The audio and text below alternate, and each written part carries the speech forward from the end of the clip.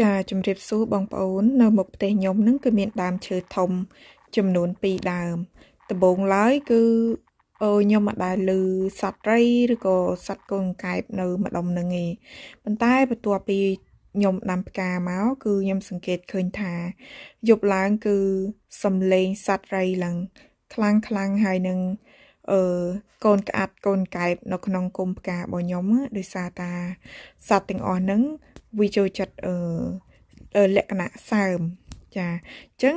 អឺនៅក្នុងដៃរបស់ខ្ញុំនេះគឺអឺពីមុនមកខ្ញុំអត់ធ្លាប់ឃើញសត្វរៃដែលគេហៅរៃសណាហ្នឹងហើយអញ្ចឹងវាធ្លាក់ទៅលើដើមឈើមកពីក្បាលហ្នឹងខ្ញុំក៏ចាប់វាមកនេះគឺវាមានលក្ខណៈទន់អឺធម្មតាសត្វសបងប្អូនដឹងហើយណា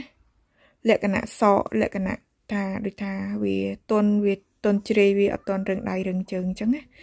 ចាអញ្ចឹងបងប្អូនធ្លាប់ឃើញសត្វត្រីសអត់នៃជលឹកទី1របស់ខ្ញុំហើយដែលខ្ញុំឃើញសត្វត្រីសអរគុណច្រើនបាយបាយជម្រាបលា